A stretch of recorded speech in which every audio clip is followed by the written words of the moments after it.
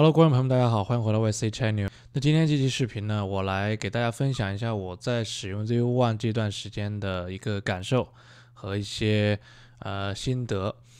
那 ZU One 这个相机我已经购买了大概有半年的时间了，嗯，时间还是蛮长的。然后我之前一直在用它拍一些照片，然后就是去记录一些生活的东西，然后我也用它拍视频。嗯，当这过程当中呢，其实我是没有用它来拍这种就是 YouTube 视频的，啊，我只是用它在日常生活中去使用。但后来我发现，其实 ZU One 这个相机非常非常适合去啊用于拍这个 YouTube 视频，或者说你去呃拍其他的一些社交媒体视频。那原因呢，就是首先第一点，ZU One 这个相机非常的小巧，它的体积大概就只有你的。呃，iPhone 的百分之七十到八十的体积，嗯，其实它比你的 iPhone 还要小一点，嗯，它的体积小巧就意味着你可以把它装到很小的口袋里边，或者是装到一些小型的背包里边去进行一个携带，嗯，另外一个就是它这个相机它的镜头是可伸缩、不可拆卸的这种镜头，虽然不可拆卸，它的拓展性会变得很差，但是它的这个镜头可伸缩，相对来讲你不用带更多的这种。可拆卸或者可更换镜头去出去外拍啊，或者怎么样，它会比较节省你的这个呃一个还是便携的一个空间了。那这个 ZU One 呢，它最大的好处给我的感受就是，呃，它的这个清晰度，也就是所谓的视频的一个清晰度。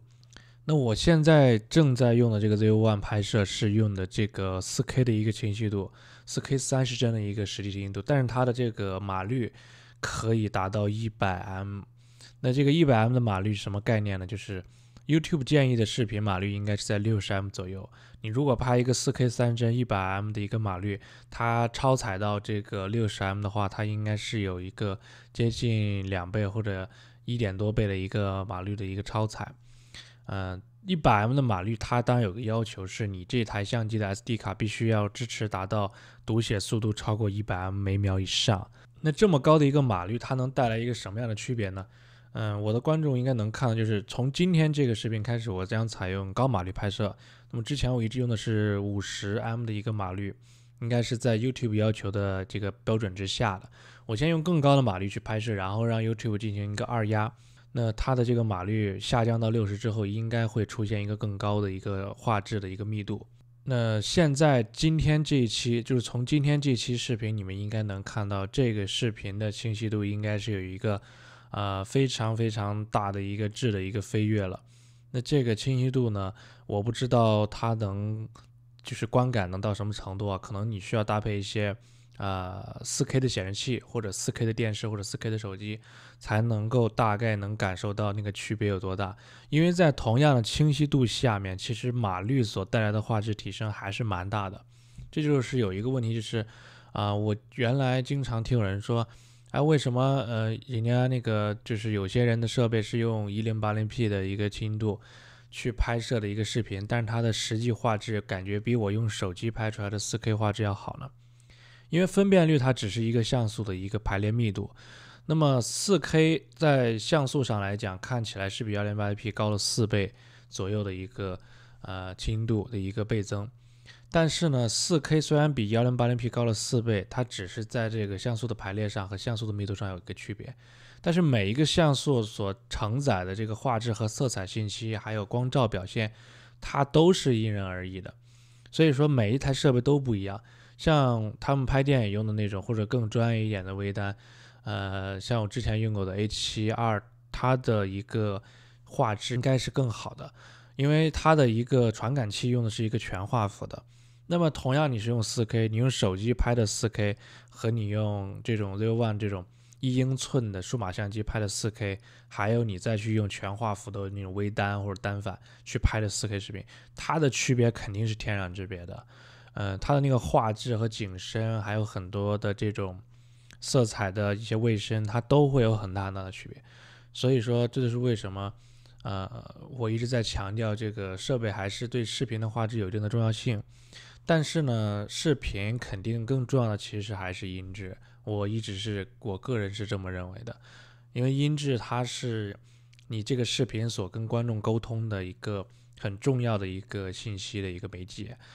呃，这个音质好的话呢，其实你画质如果不是特别好，大部分的观众也都应该是可以接受。但如果你音质不好，你画质特别特别好，你哪怕画可以画质可以达到呃六 K 的话呢，或者说八 K 的话，你的音质依然很糟糕，或者说都听不太清楚，或者环境的混响和噪音很大。像这种情况下呢，其实还是很糟糕的，它给人的观感会变得很糟糕。ZV 一这个视频呃相机呢，我在使用一段时间，发现它还有另外一个很好的一些功能，就是说，它这台相机的价格很便宜，它大概只有像 A7C 或者 A7 三、A7S 三这种相机的一半以下，可能也就是三分之一的价格。那它这么低的价格，但它拥有了这个索尼的这个 S-Log 二、S-Log 三，还有 HLG，啊，HLG 索尼也自己做了这个 HLG 一到三的一个不同的曲线。那它也有标准的 HLG 还可以选择。那么后续的话，我可以给大家讲一下这个 S-Log 二三和 HLG 它的区别是什么。嗯，在我用了这么一段时间之后，我还是非常推荐大家去购买这样的一个设备的，因为它的价格整体来讲还是比较便宜。就作为一个，嗯，就是专门去拍视频的设备，它是相当便宜了。那么它的唯一的坏处是什么？就是它这个底还是不是很大，一英寸的底其实。比大部分的手机肯定还是要大得多，但是一英寸的底跟普通的这种单反，就是从像我之前最早用过的佳能两百 D，呃，佳能两百 D 最近好像出了二代，但是佳能两百 D 的不管是一代还是二代，它的这个传感器的尺寸都是有 APS-C 的，也就是我们俗称的这个残残幅，那就是它仅仅比全画幅小了一点点，但是它的这个画幅还是要比一英寸要大很多很多倍的。所以它的那个画质其实表现出来还是很不错。我之前用二百 D 有一些视频，大家可以，呃，不知道看过没？就是它的那个，呃，就是背景虚化的效果和它的这个通光量，就是因为你传感器越大，它所能感受到的这个光信息越多，所以它的这种通透感和画质的感觉是确实是好很多。我之前用过的那个松下啊 Lumix 的 G 八五，其实它也是 APS-C 画幅，哎，好像是 M 四三画画幅，我不记不太清了。那不管是 M 四三还是 APS-C 画 APS-C 画幅，它的这个画幅的大小肯定还是一定程度上决定了这个拍摄的画质。嗯，但是画质当然只是一方面了。嗯，如果说大家嗯追求的是我只是能够把它这个视频拍的不错，或者这个视频画质哎达到一个嗯就是很不错的一个水平啊，只要不不是追求那种很极致的专业的画质水平，其实 ZV One 就已经够用了。那么我我还是很期待索尼后续会推出像 ZV One 一样的这样的一个系列的专门拍 Vlog 的一样相机的一个后续的型号或者升级版，因为现在这个 ZV One 还有一些缺点，像前面我刚才说那么多的优点，它的缺点有，比如它的电池很小，它的续航能力很差，然后呢，它没有 Type C 接口，它用的是 Micro USB，这个是让我非常不能接受的一件事情，因为索尼一直都是在我理解是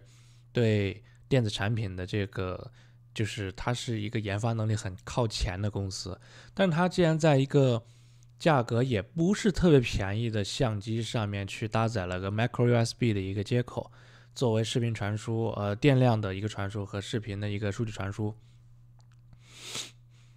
这一点我是感觉不太能接受的，因为我觉得索尼，嗯。它做事情一般都是不太妥协的，因为这个机子它本身的设计、做工各方面的功能，包括有翻转屏、有握把、有大的这个录制按钮、有这个录像提示灯，我觉得已经很完美了。包括蔡司的镀膜镜头，几乎已经是最完美的相机了。但是它没有 Type C，然后它电池容量还不是很够。当然，电池容量我觉得可以通过你外接电源来解决，因为这款相机是我知道的为数不多的。这个索尼型号里面能够边充电边录制的相机了。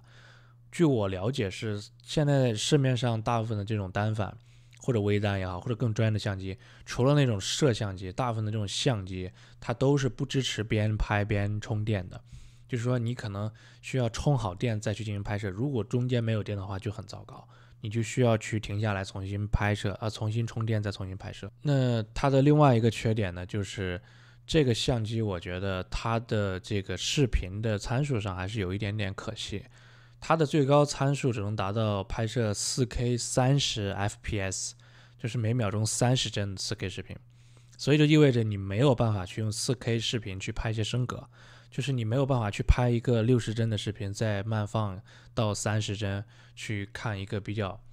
就是高清晰度的升格视频，你是没有办法拍的，是完全没有办法。所以说呢，三十帧我觉得有点不太够用，因为毕竟都二零二零年了。然后就是它的这个四 K 三十帧，竟然在拍摄的过程当中，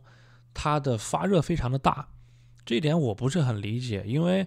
四 K 三十帧在我理解不是一个特别难达到的事情，因为它毕竟已经是一个专业的拍视频的相机了。像像我现在在用的这个 iPhone，基本上我是用的 iPhone 十一，都能拍到四 K 的六十帧了。虽然画质是差很多的，但是我觉得。